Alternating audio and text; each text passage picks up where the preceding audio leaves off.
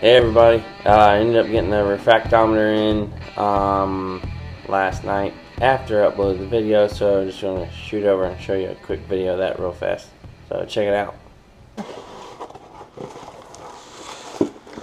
Okay, let's see what we got from old Amazon. A whole bunch of packing.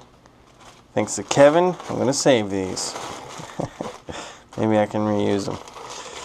The SJ Pour. see what we got.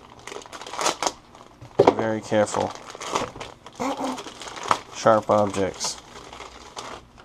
Alright. Portable refractometer. Let's check it out.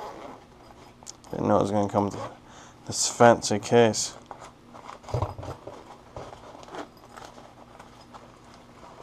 Voila.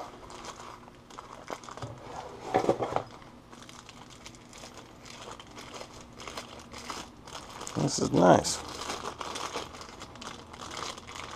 This has the temperature, ATC, automatic temperature bull crap.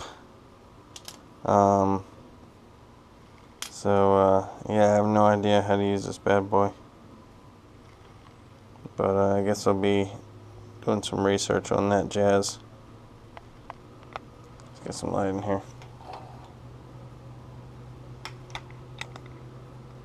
I don't know. Anyways, this is what I got.